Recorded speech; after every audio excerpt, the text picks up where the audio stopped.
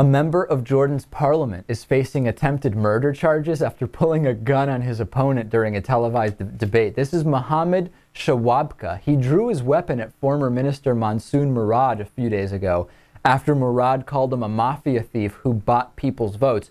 Now, of course, nothing dispels the notion that you're a mafia thief when you pull out a gun during a political debate, right? Let's take a look at some of this video, Lewis. At least he had the decency to first take his shoe off and throw that as kind of a warning shot, per se. Let's take a look and listen to some of this video. There's the shoe, and that goes. The guy blocks it with his desk, and then out comes the gun. Okay. Wow. Incredible stuff. Let's continue actually and see. Then he's shoving, and they eventually get seem to get pushed off the set. I don't know. Wow. Wow. Then he finally puts the gun away. What would you do, Lewis, if you're if you're just having political discussion with someone and then they pull a gun out? Um, well, this guy certainly wasn't afraid of the gun. He got right in the guy's face. Yeah, maybe he knew he wasn't really going to use it, or maybe it's On live to, TV? Maybe it's common to use un, to, to carry around unloaded guns in Jordan.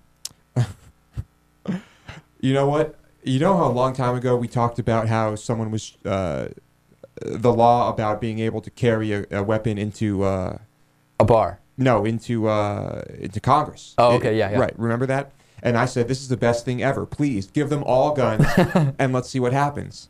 Um, that's what will happen. Is this what the Tea Party and the NRA would want to see political debate turned into? I wonder. I mean, certainly they're so strident in their support for guns everywhere.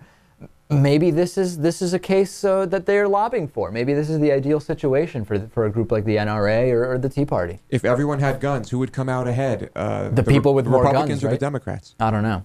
I don't like to think about that. Hmm. It's a sad commentary, Lewis. yeah, you're telling me.